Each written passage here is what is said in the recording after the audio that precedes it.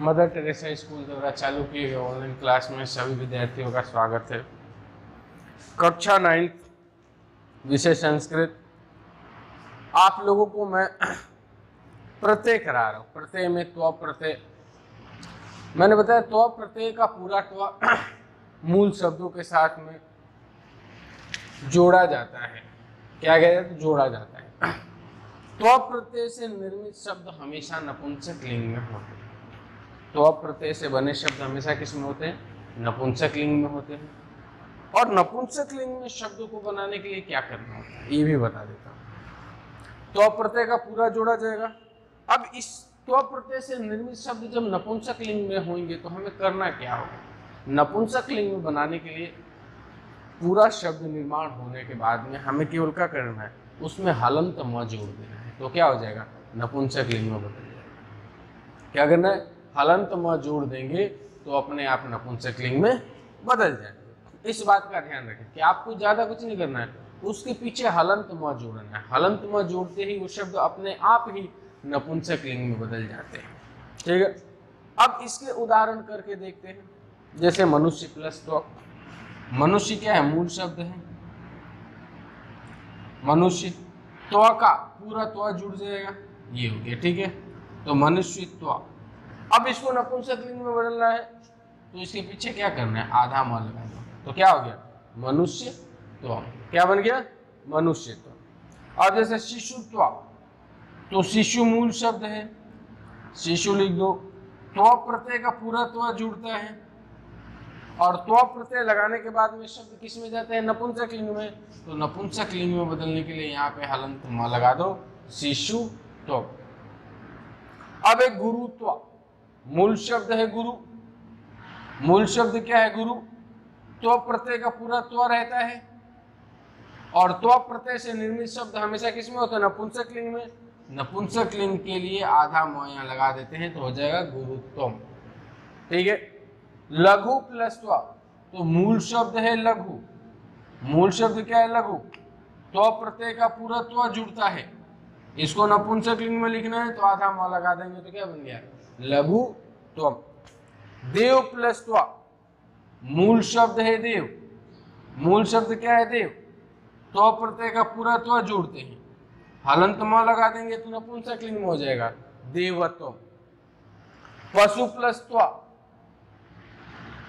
पशु। मूल शब्द है। तो प्रत्यय का पूरा त्व जुड़ता है। तो प्रत्यय का क्या है? पूरा त्व जुड़ता है। और पीछे हलंत म जोड़ देंगे। तो क्या हो जाएगा? पशु तुम क्या हो जाएगा? पशु तुम कृष्ण प्लस त्वा। कृष्ण मूल शब्द है।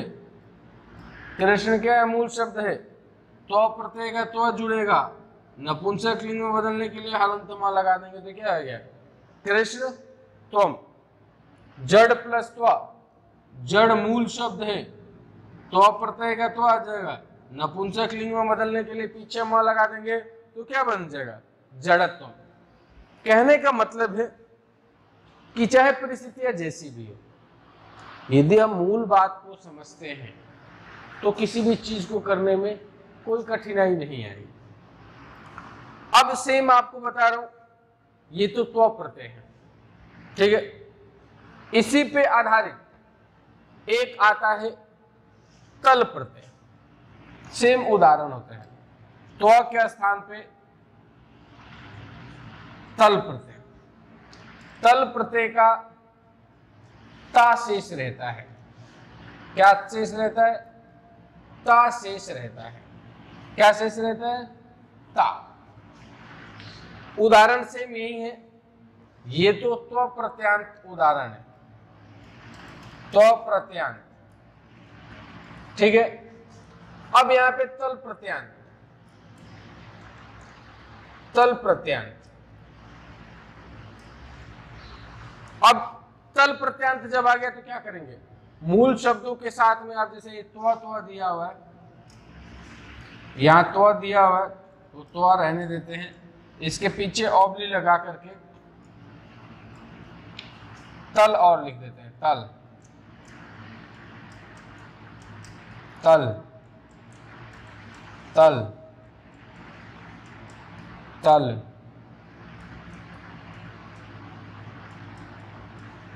तल। तल। तल। यानी त्व प्रत्यांश से तो हम शब्द निर्माण कर दिया अब तल प्रत्यांश से करते हैं तो मूल शब्दों में तल का क्या जोड़ देते हैं? ता जोड़ देते हैं। तो जैसे मनुष्य मूल शब्द है, मनुष्य मूल शब्द है, तल का क्या जोड़ना है? ता जोड़ना है। तो क्या हो जाएगा? मनुष्यता। क्या हो जाएगा? मनुष्यता। क्या हो जाएगा? मनुष्यता। शिशु प्लस तल शिशु मूल शब्द है। शिशु क्या है? मूल शब्द है। तल का क्या जुड़ेगा? ता जुड़ जाएगा तो क्या हो जाएगा? शिशुता। क्या हो जाएगा? शिशुता। क्या हो जाएगा? शिशुता। अब दिया गुरु प्लस तल दे दिया जाए। तो गुरु मूल शब्द है। गुरु मूल शब्द है। तल का क्या जुड़ेगा? ता जुड़ेगा। तो ता लिख दो तो क्या बन गया? गुरुता क्या बन गया? गुरुता लघु मूल शब्द है। लघु मूल शब्द है। तल का क्या जुड़ेगा? ता तो ता जोड़ दो, क्या बन जाएगा? लघुता देव मूल शब्द है। देव मूल शब्द है। तल का क्या जुड़ेगा? ता तो क्या बनेगा? देवता। पशु मूल शब्द है। तल का क्या जुड़ेगा? ता तो बन जाएगा पशुता। इसी प्रकार से और भी उदाहरणों को आप हल कर सकते हैं। आज मैं आपको तल त्व और तल प्रत्यय के बारे में बताया। आज के लिए इतना ही। धन्यवाद।